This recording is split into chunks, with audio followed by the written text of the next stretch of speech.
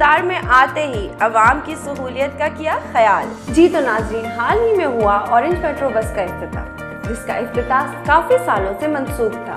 Orange metro bus अपने सफ़र का आगाज़ पिशावर मोड़ से शुरू करते हुए न्यू इंटरनेशनल एयरपोर्ट तक अपने सफ़र का अख्ताम करेगी अगर बात की जाए ऑरेंज मेट्रो बस के रूट्स की तो इसके रूट्स में शामिल हैं पिशावर मोड़, गोलरा मोड़ नस्ट और 26 नंबर।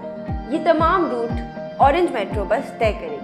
इनिशियली 15 बसेस को ऑन रूट लिया गया है, जो तमाम रूट्स को फॉलो करेगी। इसके अलावा, सबसे अहम खबर ये है कि प्राइम मिनिस्टर साहब ने till Ramzan orange metro bus को फ्री ऑफ़ कॉस्ट चलाने का हुक्म दिया है। यानी कि तमाम पैसेंजर्स ईद तक बिना किसी पैसों के ऑरेंज मेट्रो बस में हसीन सफ़र कर सकते हैं। यानी कि ईद तक आप तमाम पैसेंजर ऑरेंज मेट्रो बस का मज़ा उठा सकते हैं, वो भी फ्री ऑफ़ कॉस्ट यकीनन, इस्लामाबाद और रावलपिंडी के रिहायशियों के लिए ये एक अहम और खुशी की खबर है, क्योंकि जो सफ़र वो लोकल ट्रांसपोर्ट पे हज़ारों रुपए देकर करते हैं, वो उनके लिए काफ़ी हद तक कम हो जाएगा।